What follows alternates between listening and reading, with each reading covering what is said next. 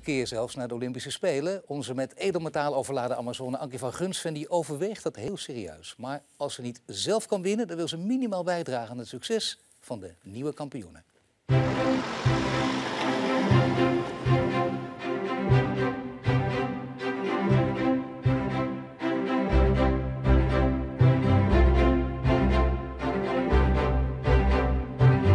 Ik zit nooit op de bank. En weer langzaam. Neem hem weer terug. Neem hem weer terug. Neem hem weer terug, Jorinde. Ja, is goed zo. Ik leid zowel paarden op als dat ik eh, de ruiters en Amazones opleid. Dus eh, soms eh, maak ik paarden tot het hoogste niveau klaar. Maar het gebeurt ook dat ik een combinatie begeleid tot het hoogste niveau. Ja, let op dat hij... Juist. En los als die goed is. Als hij te hard gaat, dan ruim je hem gewoon weer een beetje af. We noemen het Anki Education Center. Ik heb hier ongeveer 36 paarden staan hier. De trainen mensen uit echt ja, wel heel de wereld. Ja, you're looking good.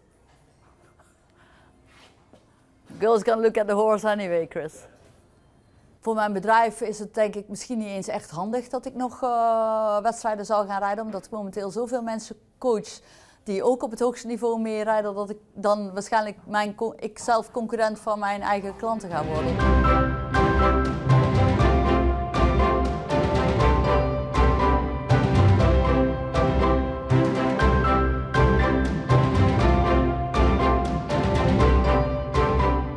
dat heb ik al vaker meegemaakt, dat het ging tussen mij een leerling. En uh, kijk, als ik dan zelf heel goed rijd, dan win ik natuurlijk zelf het liefst. Maar ik heb ook wel eens meegemaakt dat ik zelf helemaal niet zo goed reed. En dat een leerling van mij dan won. En dan denk ik, nou, dat is dan toch mooi opgelost. Ja, Salinero staat uh, zijn pensioen...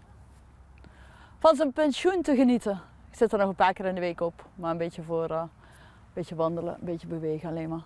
Bon Bravoure is dit. En dit is wel het paard waar ik momenteel uh, heel ijverig mee aan het trainen ben. En ehm, ja, we moeten wel kijken hoe het loopt. Maar hij kent ook nog niet alle oefeningen die hij moet kennen, maar het is wel super fijn karakter.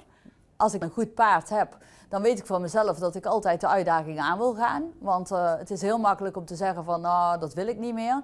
Uh, het hoeft voor mij allemaal niet meer. Maar het is wel, als ik elke dag toch iets moet doen, kan ik net zo goed iets doen wat ik heel graag doe.